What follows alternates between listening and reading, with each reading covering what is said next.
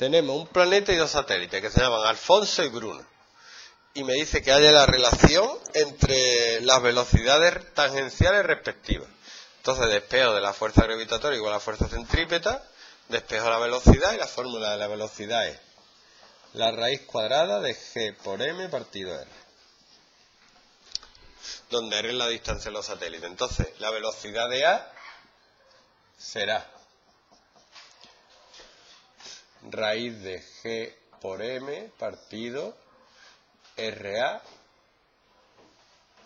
al cuadrado, digo al cuadrado, RA. Y la velocidad de B será raíz de g por m partido R de B. Voy a hacer VB entre VA. Y yo lo voy a hacer con letras. Porque yo soy más de letras.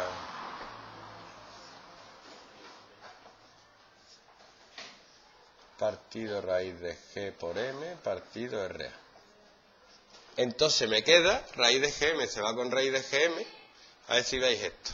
Y esto sería raíz de RA partido RB. ¿Sí o no? Lo veis, qué bien. Y ya está. Y RA partido RB es un cuarto, ¿no? Un cuarto y esto sería un medio. Ya está. Qué bonito. A mí me ha gustado.